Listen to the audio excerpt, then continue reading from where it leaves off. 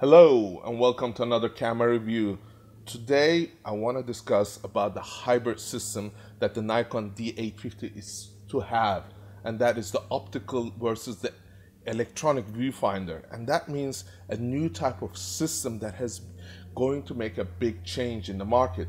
Now a lot of people dismiss the fact that that DSLR systems are very efficient and very well uh, made and they are the what they what is being used currently in a lot of this uh, photography fields including sports photography action photography and many other. And you, if you look at the professionals they still use the DSLR system.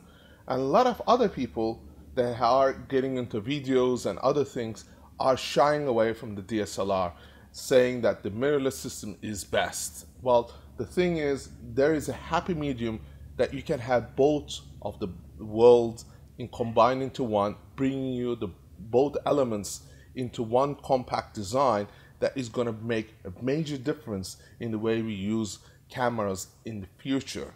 And that is the fact that we can have optical viewfinder along with the electronic viewfinder. Now, some of you may know what the advantages of the electronic viewfinder is, but let's first talk about the optical viewfinder, which is what we have as DSLR systems.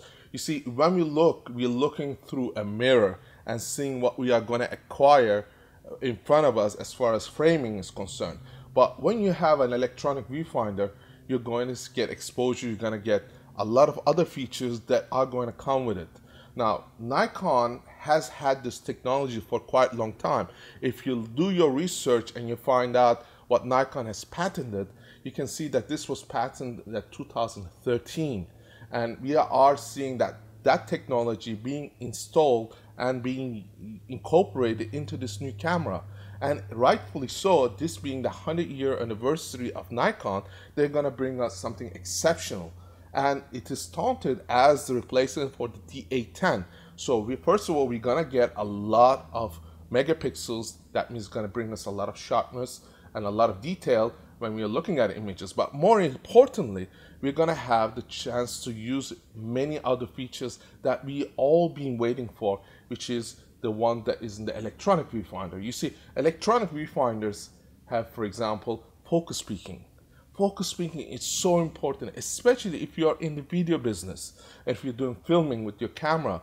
And that means that you are able to focus those older lenses and get very accurate, sharp photographs. Also, if you are a photographer, you are able to use those older Zeiss lenses or the Nikon lenses and get amazing images. And this is partly because you are able to get very accurate focusing. A lot of people talk about getting focusing with uh, by using their eyesight, but eyesight can be mistaken. And that is because if you have a very shallow depth of field, if you're shooting at f1.4, f1.2, or f0.95, those are very shallow depth of fields. So that means that when you are focusing and you do not have focus confirmation from the older lenses, that means you're not going to get very accurate photographs.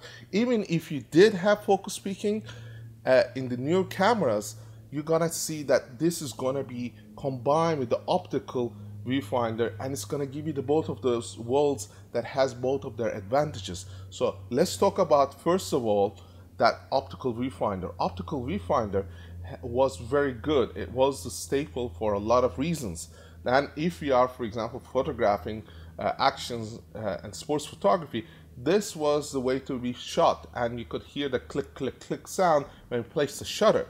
Now, a lot of people are going to wedding photography and they want to, for example, photograph bride and groom getting married, but they don't want to have that sound affecting the ceremony. So you don't want to go click, click, click, click, click sound when you are, for example, photographing the bride and groom yeah, announcing their their vows. So what has happened, the electronic viewfinder is bringing a new feature in there. You can have silent uh, shutter. What that means is that you will not hear sound. That will allow you to photograph beautifully and more importantly it gives you to see what your exposure is going to be what your final Im image is going to be before you even have to press that shutter.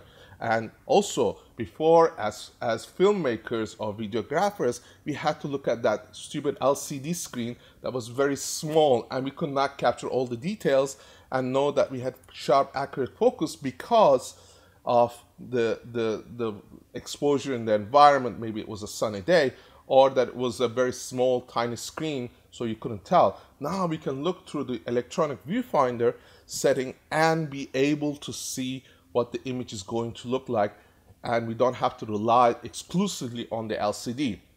Also, if you look at the D810 specs, the, uh, the highest shutter speed you can have is 1 8 thousandth of a second. So that was the limitation. You could not use this, this camera beyond that level. Now with the electronic shutter, electronic viewfinder setting, you're gonna be able to push these limits up to probably 36,000. And that means that you are gonna have much, much more options when you are doing photography. And as well as if you are going to go out there and you're gonna use this, this camera, you're gonna have options to use it with the older lenses, the newer lenses. So it becomes a much more viable tool.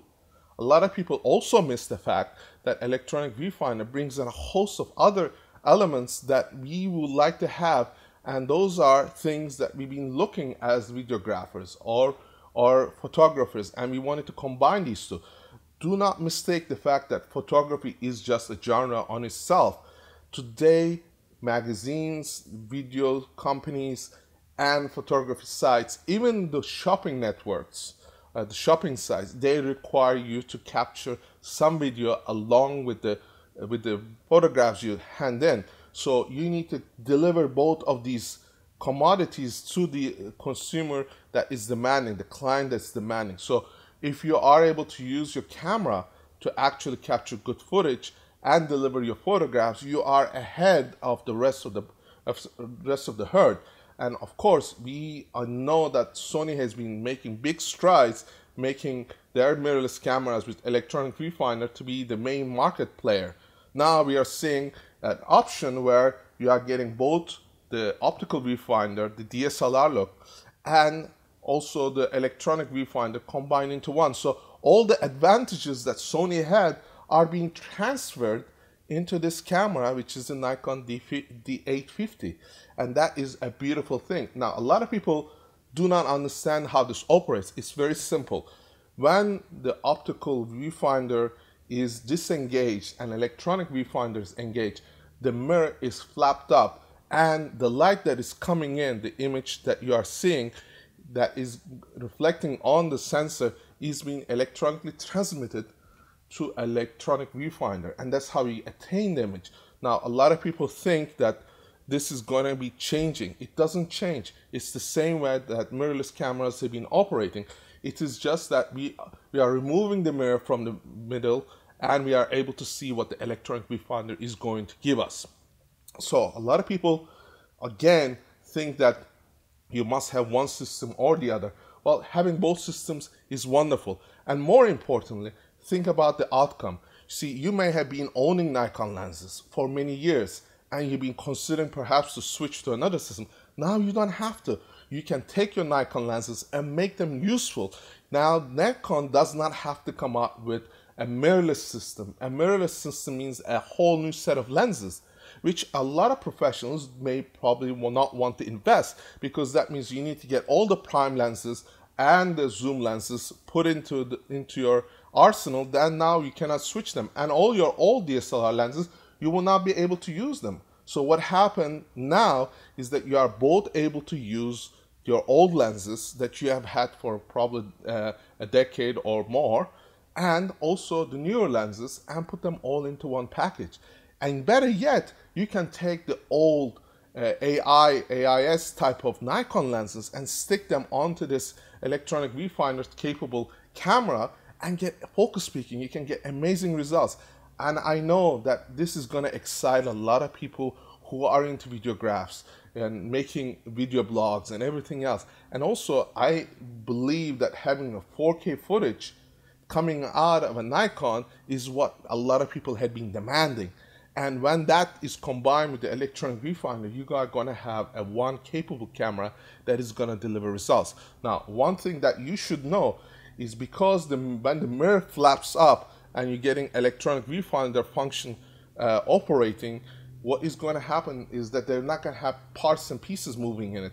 So that is going to give you the advantage of very durable camera that is not going to cause problems. Of course, the camera is not tested out. We haven't seen you know extensive uh, testing done on this, especially on the consumer side. So we are hoping that all this is going to work perfectly and seamlessly, and it should because the simple fact is this mechanism, this operational system is very, very simple and it's a very uh, efficient way of using a camera.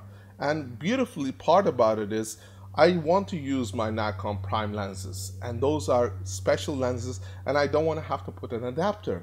And this way I, I'm getting rid of the adapter, having electronic communication with the camera and able to get very accurate photographs.